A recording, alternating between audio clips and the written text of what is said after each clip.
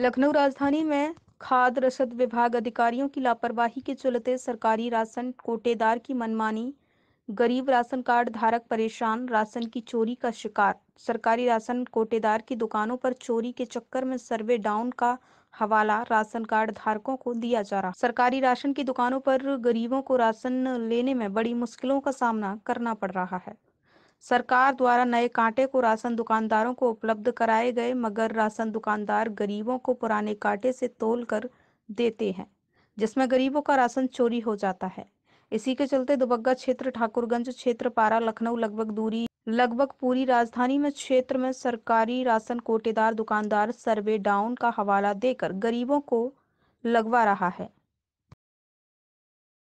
हाँ क्या मामला है? आप लोग यहाँ क्या करने आई हैं? हम लोग राशन लेने आए हैं यहाँ सर्वर डाउन है राशन नहीं मिल रहा कहीं नहीं मिल रहा है। परेशान हम लोग हर रोज जो चक्कर लगाते हैं। परेशान है। बताइए ये ये ये हो रहा है मशीन चली नहीं रही है। तो आप लोगों को राशन और पहले मिलता था सही? पहले पहले सही मिलता था अब इधर राशन मिल ही नहीं रहा है। मशीन बदली है जब से राशन राशन नहीं मिल रहा है। हाँ, क्या बता रहे हैं आप? खर्चा खर्चा कर रहे हैं?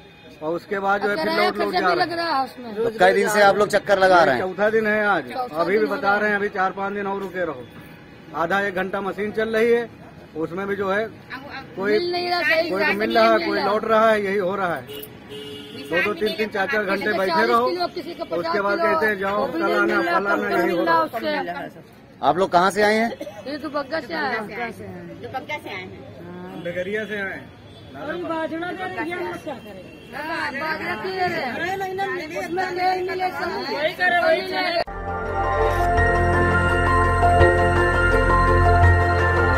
देखते रहिए डीवी भारती समाचार नज़र हर खबर पर।